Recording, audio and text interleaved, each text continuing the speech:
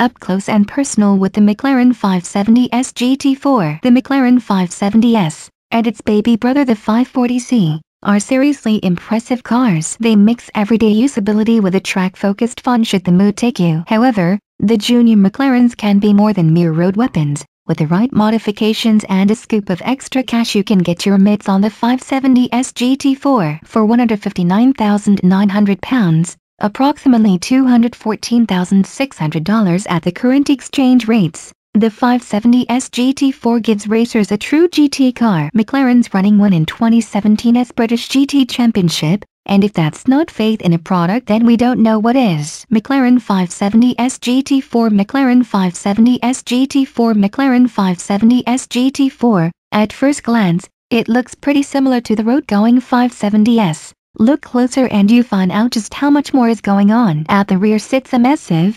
downforce-tastic carbon fiber wing, which is adjustable for your pleasure. Below that is a massive diffuser for managing airflow under the car. Up front is a series carbon splitter, a couple of vents in the nose to keep things cool, and dive planes to further help the aerodynamics. Each of its surprisingly dinky wheels wears proper race rubber, as you'd expect. McLaren 570S GT4 McLaren 570S GT4 Inside is where the biggest differences lie. Where the road car is all about keeping passengers comfy, the race car is stripped bare. A few details from the road car do survive, electric windows, for example, the infotainment screen is still present as well, though it'll show data rather than what's next on your playlist. The familiar engine start and active panel switches are there to play with as well. The doors open with a mechanical handle, and there are fighter jet and Sport Master power switches, fire control switches, and a massive, cosseting, bucket seat for the driver to control the action from. We've yet to drive one, but this being McLaren it's unlikely to be a bumster. Customer deliveries start in 2017.